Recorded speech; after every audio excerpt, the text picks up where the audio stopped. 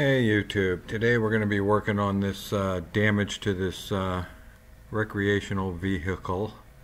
Uh, I was told it was not the owner of the RV's fault, that the coach was actually parked, that it was a backhoe operator that uh, swung the bucket around and accidentally hit the coach.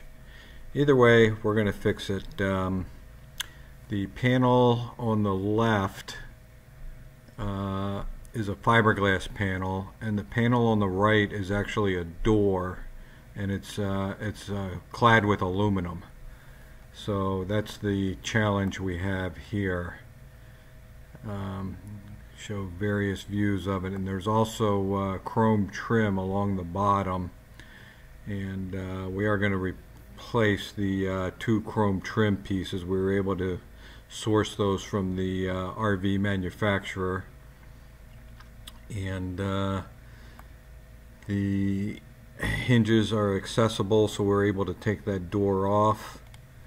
The left panel would be very difficult to take off.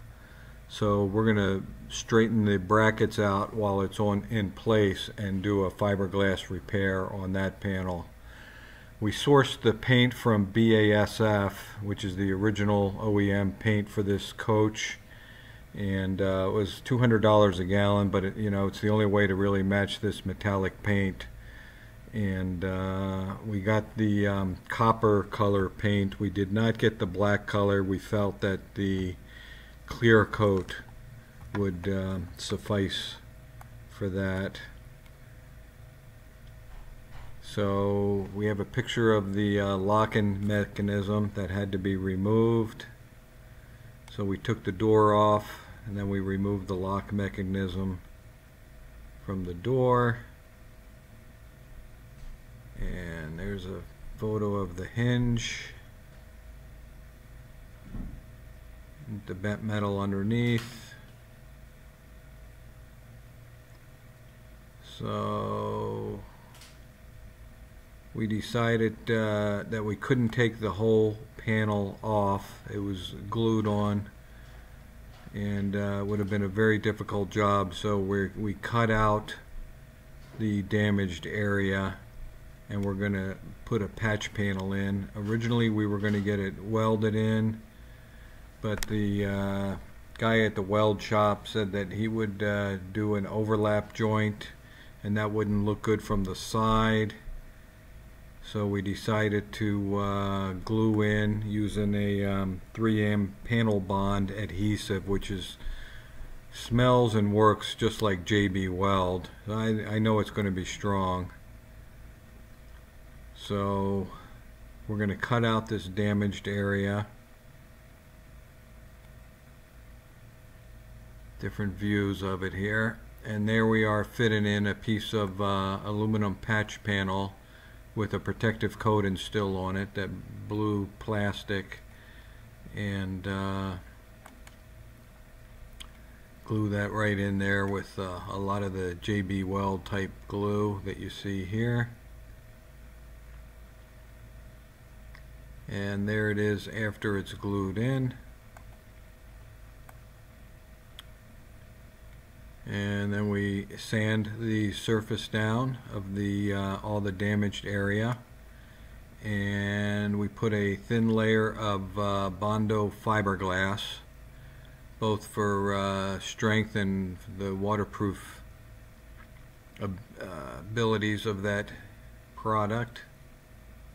And there it is sanded down and we put a thin layer of Bondo, very thin layer, just to get it smoothed out. And there it is sanded out with a number 40 sandpaper and a 17 inch flat hand sander. And we put a coat of primer on it just to see what we've got. And then I put a coat of glazing putty over that to get all the sand and scratches out. Sanded that down another coat of primer and a final coat of primer and you can see because we bonded it instead of welding it that we've got a really nice clean edge from the side view. You can't even tell it was ever repaired. So we put the uh, door mechanism back together.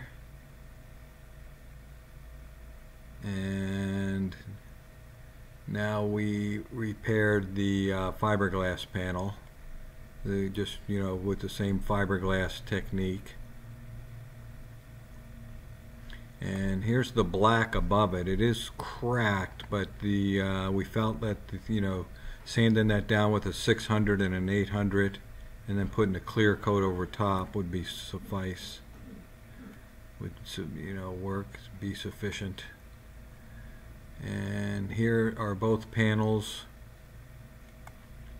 back on and uh, well the doors mounted back on. The other panel is uh, repaired.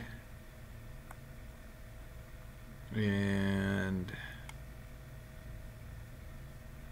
we glue on the uh, bottom chrome trim piece before we paint it everything looks nice and straight. And then we spray the color and the clear coat on. So it's as if it never even happened. Hope this helps. Thanks for watching